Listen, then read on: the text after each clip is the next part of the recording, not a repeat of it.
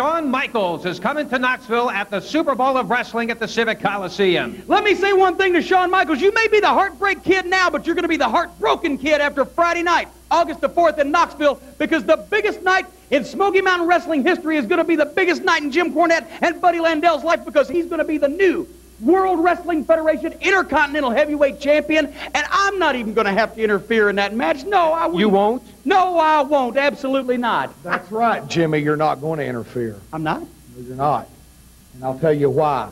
Number one, I'm very glad to hear Shawn Michaels' comments regarding the career of Buddy Landel that he finds so important to remember.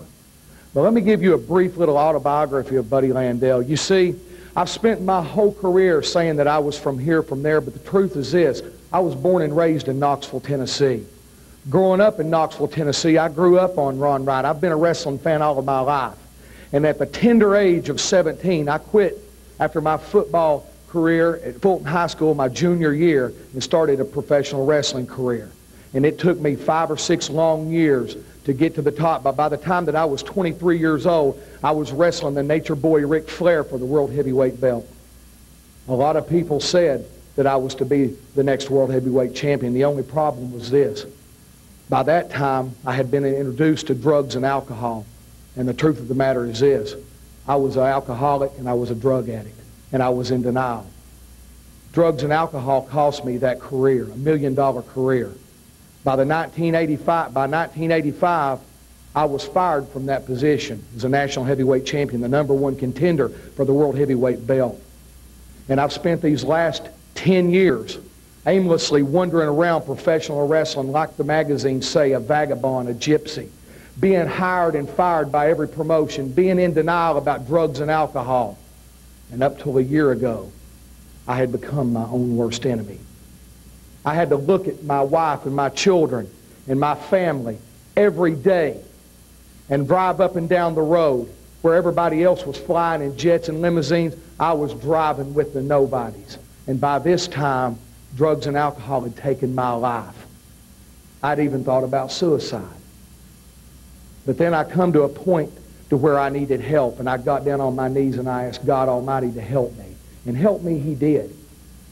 You see, I was tired of looking at myself in the mirror saying, will I ever measure up to what I used to be? And a year ago, I came back into professional wrestling weighing 260 pounds. I defeated my own worst enemy a year ago. That was Buddy Landel. Now, this last year being in professional wrestling, I've lost all my weight. I'm back on top. I've beat everybody in Smoky Mountain Wrestling and proud to be in Smoky Mountain Wrestling on top of that. But see, because Smoky Mountain Wrestling is affiliated with the WWF, and the Smoky Mountain title is so prestigious that it gets a chance to have the WWF Intercontinental title on August the 4th in Knoxville, Tennessee, a match with the Nature Boy Buddy Landel. Shawn Michaels, I'm going to tell you something. I've been up and down since I turned 17. I've been on top and seen my wildest dreams.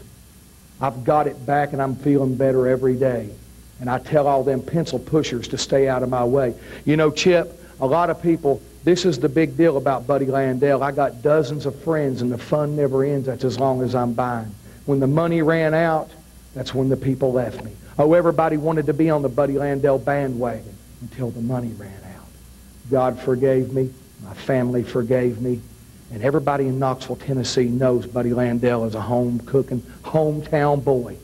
I love Knoxville, Tennessee, and I'm proud of it. But I, Friday night, August the 4th, Shawn Michaels, I'm telling you something, I'm in the best shape of my career. I'm 33 years old. I have held more wrestling titles than the years you are old, son. I'm not taking nothing away from you. Voted the sexiest man in wrestling? That's great. Friday night, August the 4th, brother, Super Bowl of Champions, I want you to come in tip-top shape because I'm promising everybody in my hometown where it all began that I'm going to become the WWF Intercontinental Heavyweight Champion. Bank on it.